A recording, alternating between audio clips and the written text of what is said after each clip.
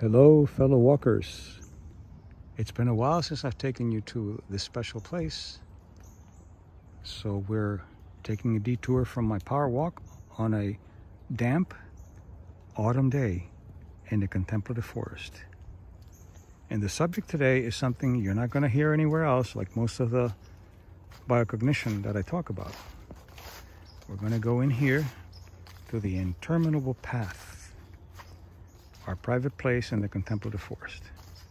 And there's your bench.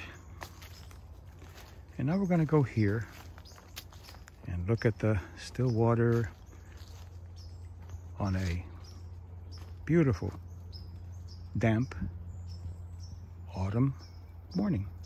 So you see, I don't stop my workouts because of uh, weather. So today I'm going to talk about something that uh, it's easier to sell as uh, marketing and uh, being a nice person and quick fixes, but it's pseudoscience. So what I'm going to be proposing today is vulnerability is foolish and empathy is dangerous.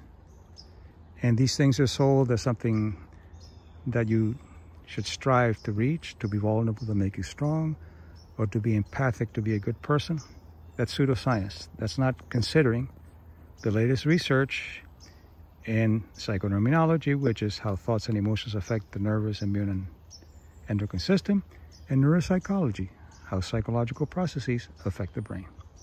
So why do I say that vulnerability is dangerous?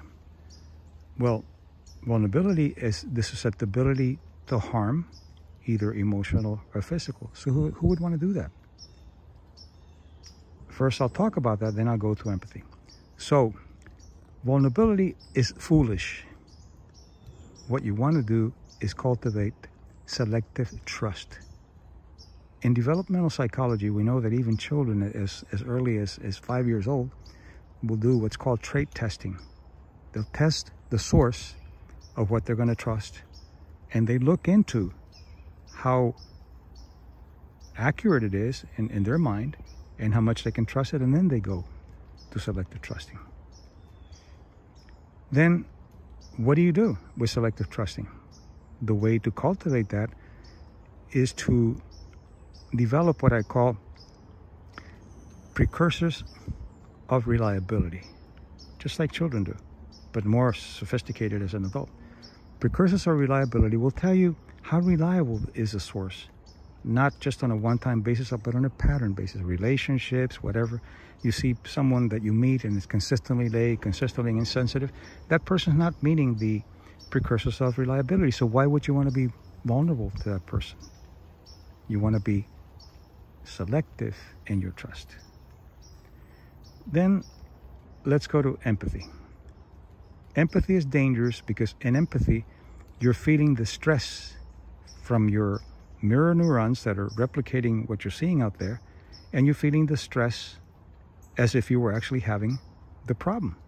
This is why empathic people, unless they know how to work it out, uh, have terrible health. So what you're doing is you're saying to the brain, there's no difference between this person and me. The mirror neurons will then send information to the amygdala, the area that, that triggers the fear, and you get stress hormones. So what would be the alternative there? The alternative there is compassion.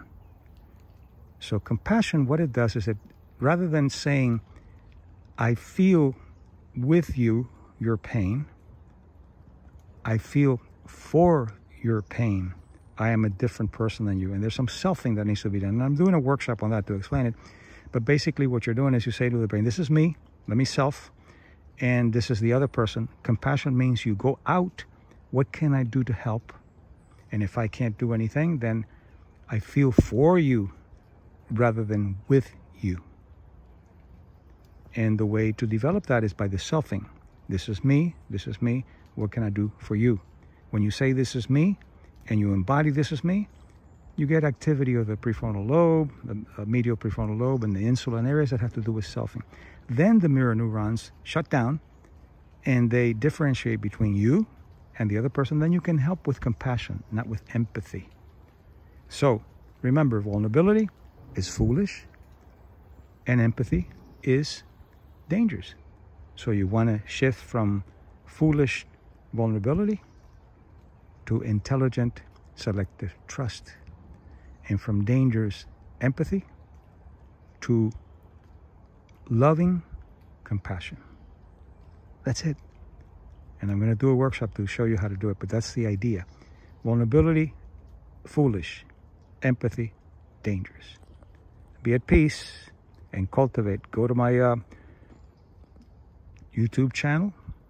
Quite a bit of information there. It'll this video will be there, of course, and uh, and then uh, look into my workshops. I explain the science of it rather than the sexy labels of things that uh, appear to be good, but they're pseudoscience and can be dangerous.